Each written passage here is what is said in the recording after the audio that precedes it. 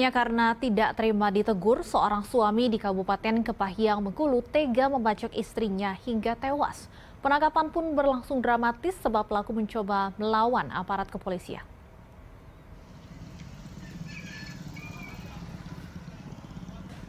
Marison Kanedi, pria 39 tahun ini nyaris menjadi bulan-bulanan usai dirinya mencoba melawan saat hendak ditangkap aparat kepolisian. Warga Kabupaten Kepahiang Bengkulu ini diringkus lantaran tega membacok istrinya sendiri dengan sebilah parang hingga tewas. Marisan terus meronta ketika digiring oleh aparat. Ia pun sempat melakukan percobaan bunuh diri dengan melukai diri dan meminum racun rumput sebelum diringkus aparat.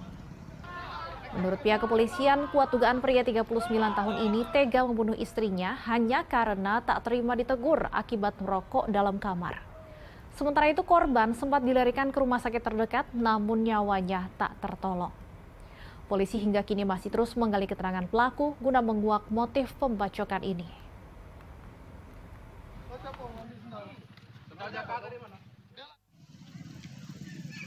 Dugaan sementara ada kesinggungan dari suaminya karena ditegur oleh istri.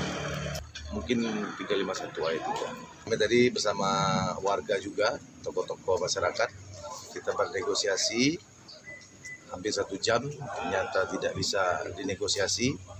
Akhirnya kami mengambil tindakan yang